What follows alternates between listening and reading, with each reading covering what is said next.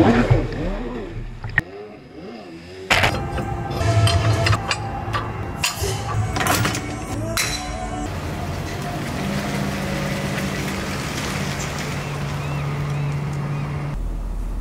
we are.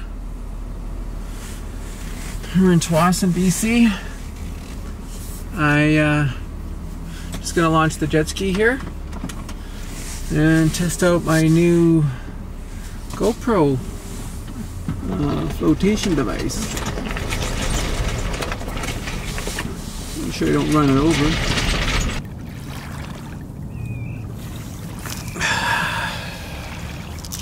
These are, I've seen these on YouTube. They're everywhere on YouTube on how to build them. I'll leave a link below. I'm not going to bother going through that. Lots of other people have done it. Let's try it out.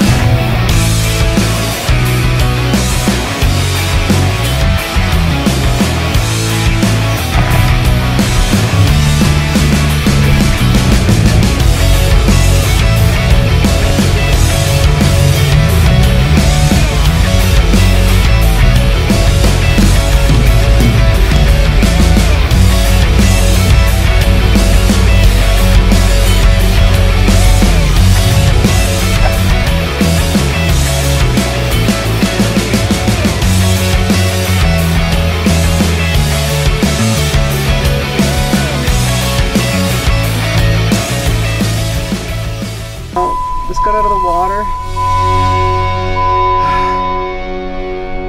Testing my new float. How does it go? I think it's okay. I think it's okay. Um, we'll see what the footage looks like. I think the first somehow hit it. I was trying to jump over. That's when I hit the the shutter button. Oh, here it is, my floating tripod for the GoPro or any action camera. Um, thought this thing was awesome, worked out really well. I made it a few inches wider than the DIY YouTube video I found. I thought that would give it a little more stabilization. Who knows if it did. I made a lot of waves with the jet ski, so either way it was really rocking around, but I think it still worked quite well. The only real issue I had was the uh, water droplets on the lens.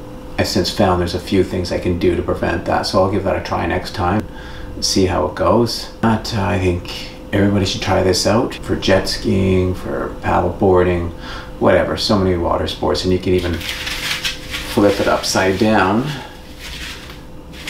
to uh, film underwater. But this has so many possibilities.